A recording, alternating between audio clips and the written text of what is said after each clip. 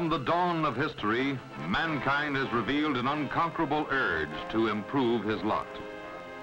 Along with his requirements of food and shelter have been the deep-rooted desires to reduce drudgery and to move freely beyond the horizons of his limited domain. Time and space have always presented their challenge. Man early recognized that energy must be found, harnessed, and properly applied to help him.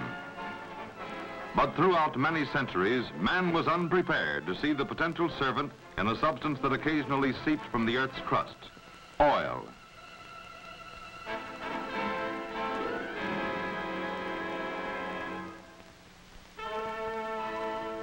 Oil has long been known to mankind. Aware of its unusual burning characteristics, the Babylonians dipped their ceremonial torches in oil and pitch.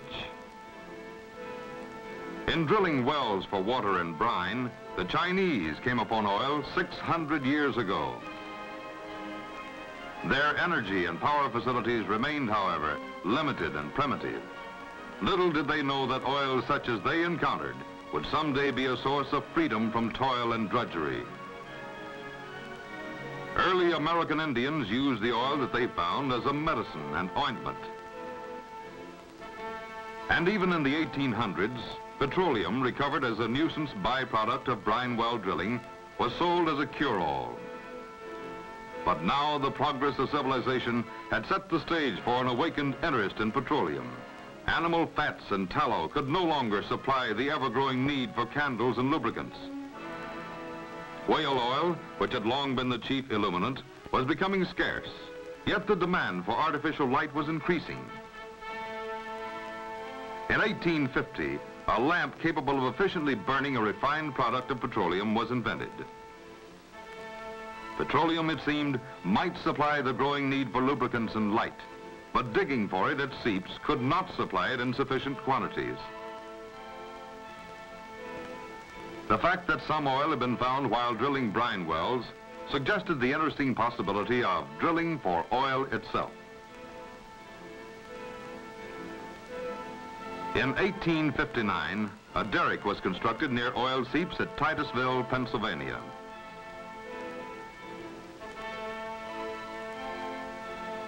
This was accomplished under the direction of a retired railroad conductor, Edwin L. Drake. With the assistance of an experienced brine well driller, Uncle Billy Smith, operations finally got underway. Crude handmade tools and a primitive steam engine enabled them to drill at a rate of only three feet per day.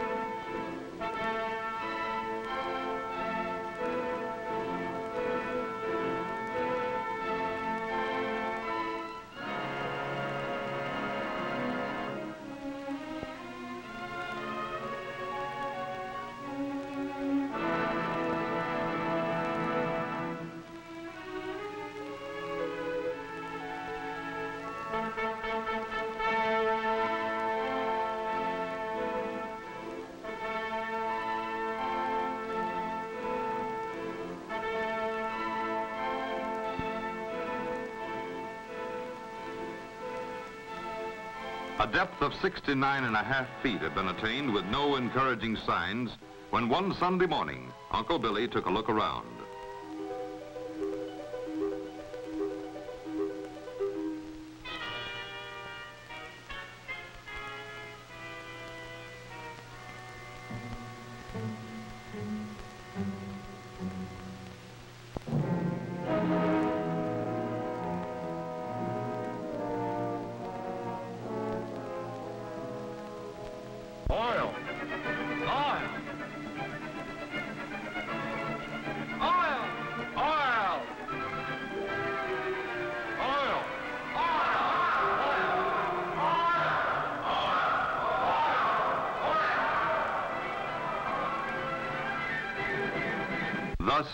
That eventful day of August 27, 1859, Edwin Drake and his associates ushered in a new era. It had now been shown that oil in substantial quantities could be obtained by drilling. With the rapid spread of the news came a fantastic migration of those who saw in this development a possible source of new wealth. The boom was on. Towns and derricks sprang up almost overnight in the vicinity of Drake's discovery. For lack of engines and drilling equipment, many crude but ingenious drilling methods were devised. Strong backs and legs and infinite patience supplied the power to drill only a few feet per day. With the realization that many drillings resulted in expensive and disappointing dry holes, so-called experts with divining rods, luck, and intuition were much in demand.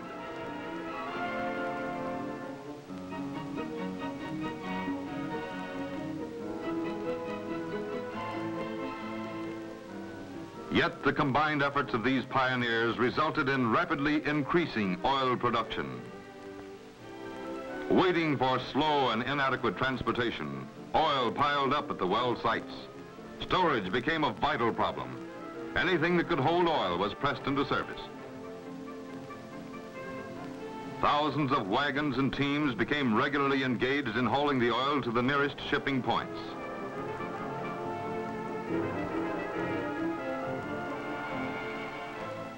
When possible, barges and rafts were employed to carry the oil.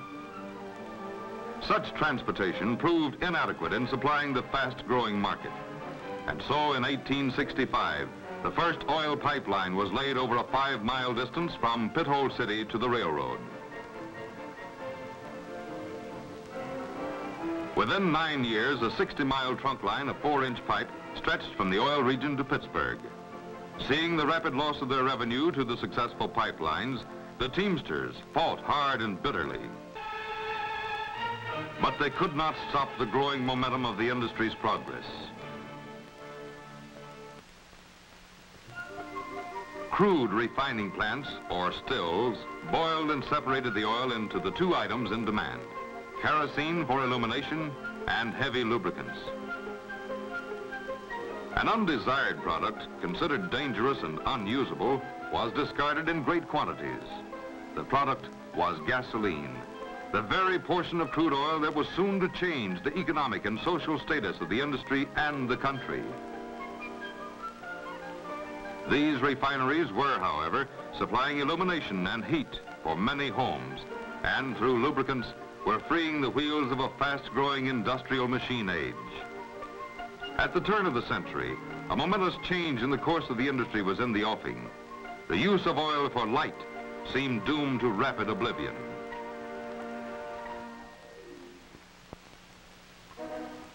At this critical stage appeared the invention that was to revolutionize the oil industry's course of progress and change the living habits of the nation. No longer was gasoline destined to be a useless byproduct. Instead, with the swift popularity of the automobile, gasoline quickly assumed the position of prime demand.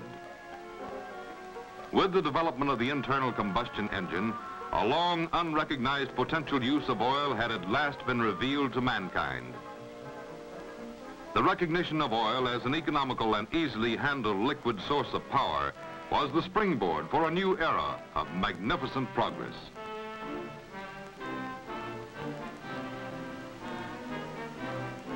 Inspired by the American system of possible reward for risk, discovery and expansion swept westward to the Pacific, the mid-continent, the Gulf Coast, and the Rocky Mountains. The oil industry quickly found its stride in the suddenly stepped-up tempo of progress.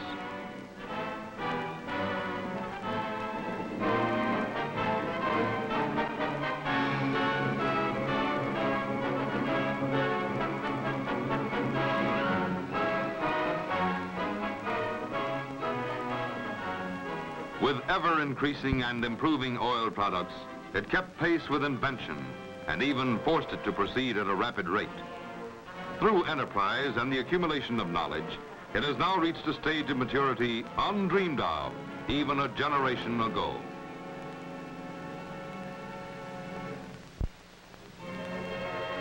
Throughout millions of years since the Earth's formation, constant heaving, buckling, and erosion have changed many portions of the Earth's surface.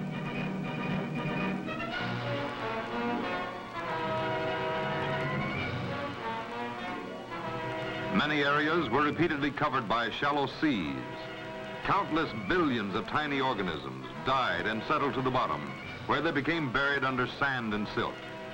There, it is believed, the entombed organisms were transformed into oil.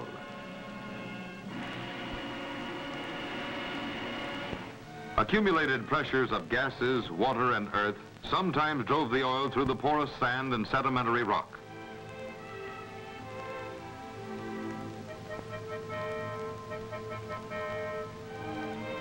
And often, it migrated to underground reservoirs sealed by non-porous formations where the oil was trapped. It is from these reservoirs that oil is now most likely to be recovered in commercial quantities. Thus, today, the oil geologist searches both for locations where oil may have been formed and locations where oil may have been trapped.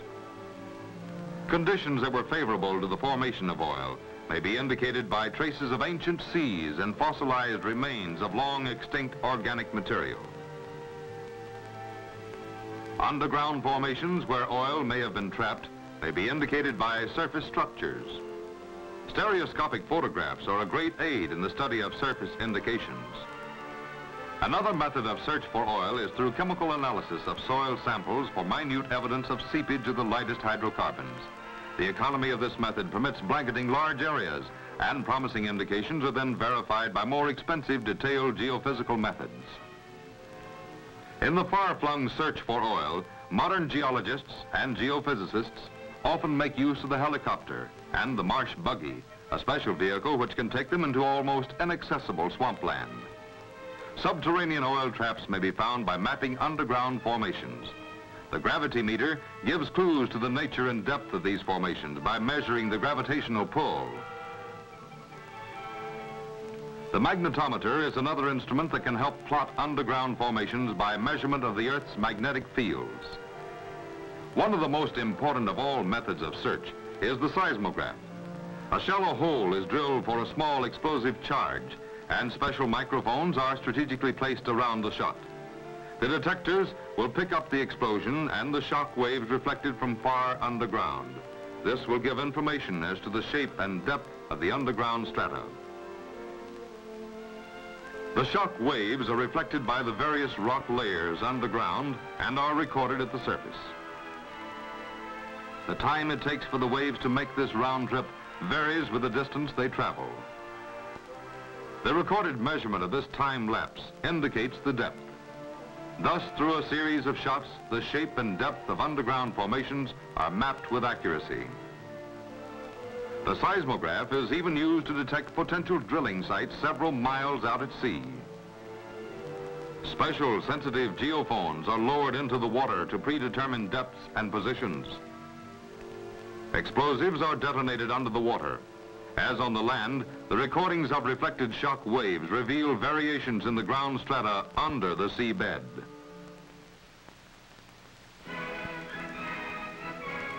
Actual drilling is still the only conclusive step in finding oil. Even today, in new field drilling, only about one well in nine becomes a producer. Costs of drilling a well will average about $77,000. But some wells have cost as much as a million. The older cable tool method is still generally used in drilling formations hard enough to stand up well and where low cost rather than speed is the principal consideration. The rotary drilling method, developed since the turn of the century, is now used more extensively. Although more expensive, it is speedier and enables drilling through loose, unconsolidated formations to far greater depths. In drilling to depths of two or even three miles, the repeated raising, lowering, and handling of the drill pipe to replace the bits is a difficult, time-consuming function.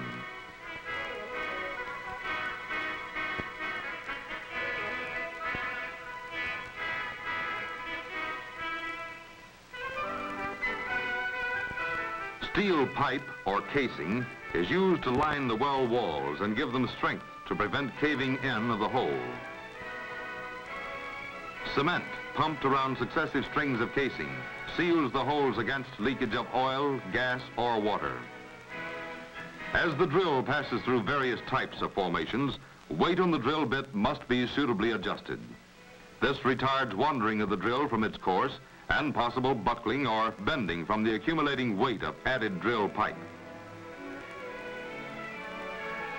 Chemically treated muds are pumped through the hollow drill pipe to cool and lubricate the bit and carry the rock cut away by the drill back to the surface. It also plasters the walls of the hole to help prevent cave-ins. A screening device called a shaker removes the rock particles from the mud, preparing it for reuse. Samples of the cuttings are examined to determine the kind of strata being drilled through. Even the senses of taste and smell are used as an occasional quick test when it is suspected that oil-bearing formations are being approached. Core samples are taken with a special drill bit at some drilling locations. These are sent to field and central laboratories, which test them for porosity, or the volume of small cavities that may contain oil, permeability, or the potential rate of flow through the rock pores, and the oil content of the sample.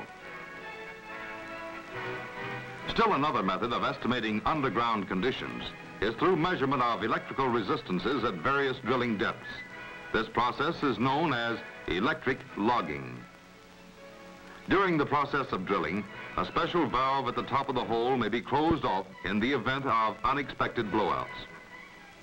When an oil-bearing formation is reached, the drill is pulled.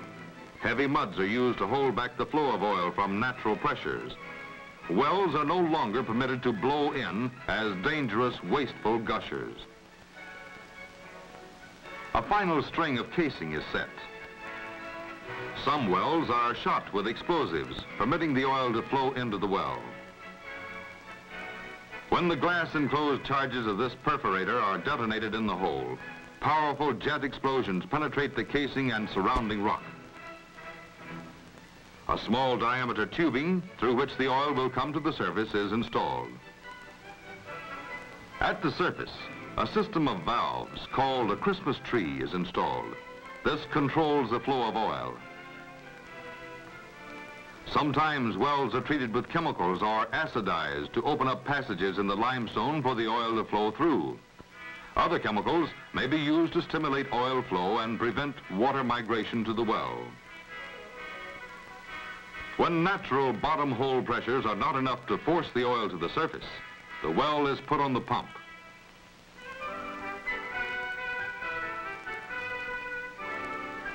In many locations, ingenious centralized power systems work a number of well pumps, bringing the oil to the surface and sending it to the storage tanks.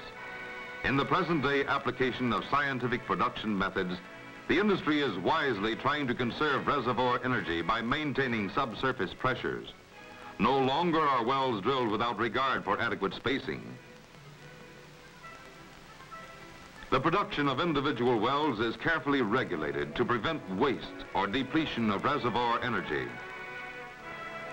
However, in many fields, reservoir pressures have been lowered to a point where oil does not flow naturally to the wells. In many such locations, natural gas, usually associated with oil production, is first piped to cycling plants where liquid products are extracted. The gas is then pumped into the oil-producing zones, where the pressure helps the oil to flow through the sands and porous rock toward the wells. In other locations, water instead of gas is employed to drive the oil. These are a few of the many ways in which oil is now recovered that would otherwise have been lost forever. Oil production on land has been augmented in recent years through drilling at sea. Oil producers are thus opening vast new production potentials to bring more oil to the nation. Today's oil scientists know that crude oil is a complex chemical mixture of molecules of many different kinds. It is a liquid treasure chest from which hundreds of finished products may be derived through refining. The industry's complex research is constantly disclosing new products from oil as well as developing processing techniques designed to produce them efficiently and economically. In the initial stages of modern refining, the flowing oil is heated in a pipe still to about 800 degrees Fahrenheit. This superheated oil then enters a fractionating tower. Upon release from the confinement of the pipes, all but the heaviest portions of the hot oil flash into vapors and start to rise in the tower. Various components of the crude oil vapors condense or change back to their liquid state at different temperatures. As the vapors rise to successively cooler levels, the heavier fractions condense on lower trays and the lighter components collect on the higher trays. Thus, products or fractions ranging from asphalt and heavy oils on up to light oils, kerosene and gasoline may be drawn off independently.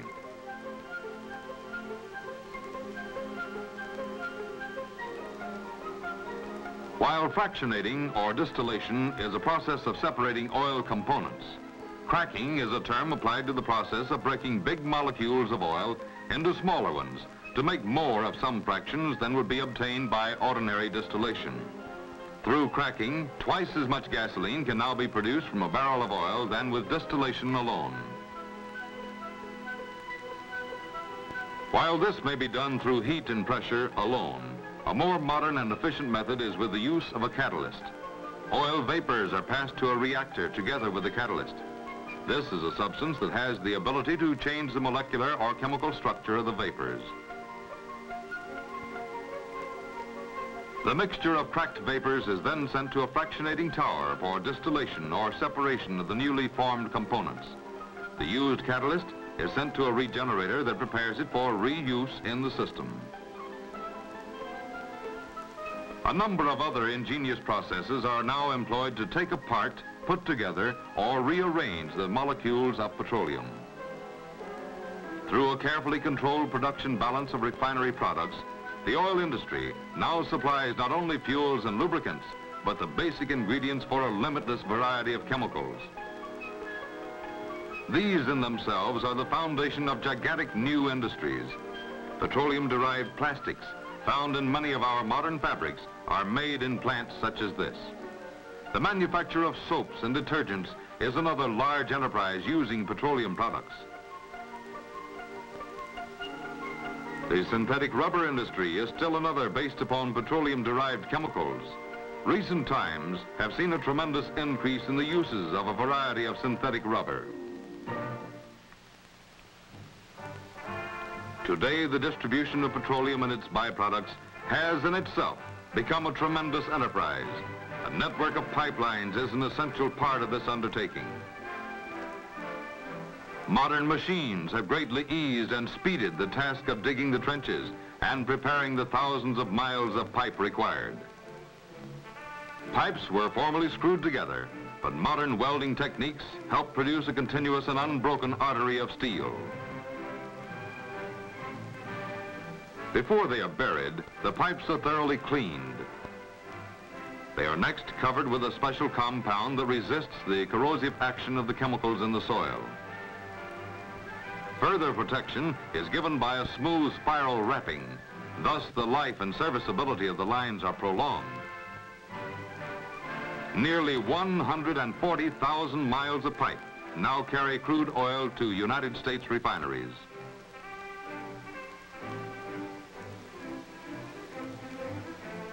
Another 23,000 miles of pipe carry finished products of petroleum. A gigantic system of pumping stations forces petroleum and its products over and through all kinds of terrain. Under modern methods, various oil products are pumped through the same line in adjacent sections or units. Modern oil tankers and barges account for a large percentage of the bulk transportation of oil and oil products. The tankers are indispensable for the overseas movement of oil. Railroad tank cars have also kept pace with oil development, many of them having specially prepared compartments. They daily carry millions of gallons of various oil products. More than 100,000 tank trucks are in service today. They represent an efficient and flexible means of oil distribution. Through such trucks, there is an ever-increasing trend toward distribution of oil products direct from the refinery to the service station and the consumer. The automobile service station itself represents a high degree of friendly, competitive efficiency in modern petroleum distribution. Through petroleum, Americans now travel with efficient economical power, while the complex machinery that carries them is protected and lubricated with oil. Beauty and efficiency surround them in the synthetic leathers and fabrics made from petroleum, and in the plastics from the same source. Oil-derived synthetic rubber cushions their ride and seals out noise and weather. The safe, long-lasting tires on which they ride may be made from oil. 85% of the roads on which they travel are paved with petroleum products. Through petroleum energy, people and products are now transported speedily and economically throughout the nation and the world. Man's desire for freedom of movement has been fulfilled with petroleum. What three gallons of gasoline did 25 years ago, two gallons will do today.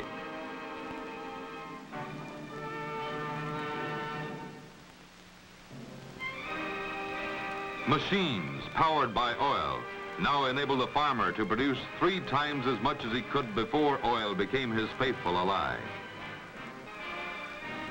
Oil heats the farmer's home as well as his brooders.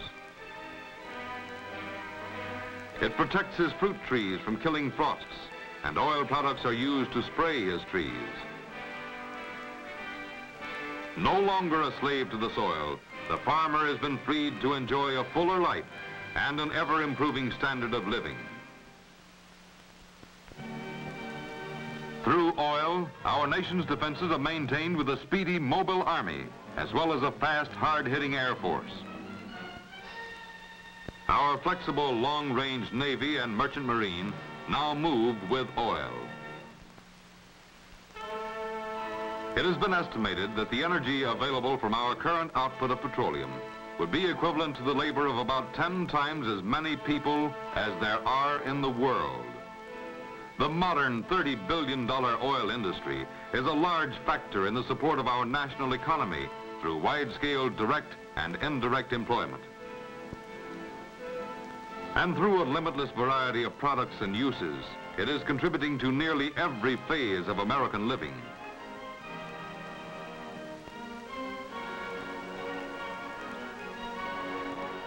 In the relatively few years since the oil industry's inception, traditions of progressive service and responsibility have been established, which will be the foundation for even greater contributions to the welfare of the nation and the world. Man may now look with grateful pride at his short but spectacular history of development and use of petroleum. Through truly American enterprise and ever-increasing knowledge, our lives will be yet further enriched through the wise and efficient utilization of this bountiful resource, oil.